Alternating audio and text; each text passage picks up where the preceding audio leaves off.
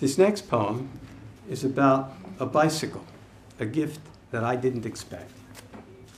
Peace cut wars three shifts to one, folks sold up and streets turned slum, where six days a week Dad kept store, each year worse than the one before.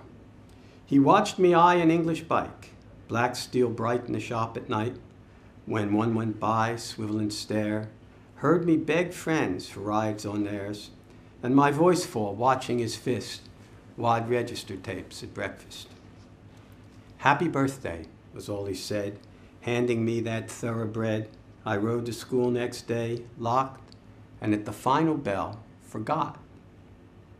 So long a dream, it slipped my mind, till I walked back to school at nine and saw it hanging, bent, flensed, a skeleton on the school fence that would not race again.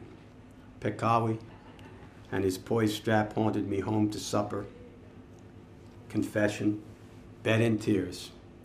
Dawn, he shook me, eyes red, free from my twisted covers, to find a second virgin racer. We never spoke about those Raleighs. Perhaps my desolation recalled the depression corner where he hawked apples with his father.